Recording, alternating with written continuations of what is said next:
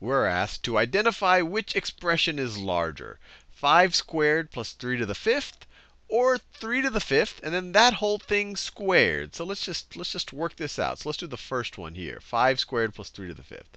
5 squared plus 3 to the, not 35, plus 3 to the fifth.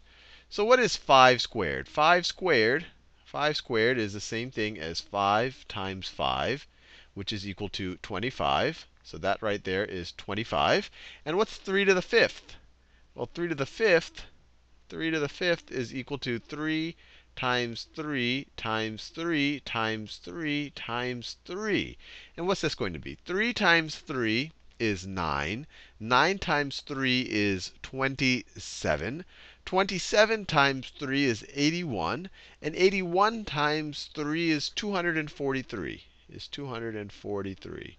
So this up here is the same thing as 25. This is equal to, this is equal to 25. That's what 5 squared is, plus 243. Plus 243, which is equal to what? We can do this in our head. 268, right? 268, right? 268. So that's what this first expression is. Now let's see what 3 to the fifth squared is. So 3 to the fifth squared, this one right here. So it's 3 to the fifth squared. Well, we already figured out what 3 to the fifth is. 3 to the fifth is 3 times 3 times 3 times 3 times 3. It's 243. So this right here, this expression right here is 243. And we're going to square that entire thing. So this is equal to 243 squared. Now, they just want to know which expression is larger. And we already have a pretty good sense. The first expression is only 268. The second expression, it's the number is a little bit smaller than 268, but it's that number squared. This is 243 times 243, which you might already sense is going to be a much larger number than 268. So you should at this point already say, hey, this is a much larger number than that. We don't know the exact number yet. But this, you know, if they just want to know which expression is larger, it's definitely going to be this one. And if you're just out of curiosity, you want to know what that number is, we can, we can solve it. So if we do 243 times 243, 3 times 3 is 9. 3 times 4 is 12. 3 times 2 is 6. Plus 1 is 7. Put a 0 down here.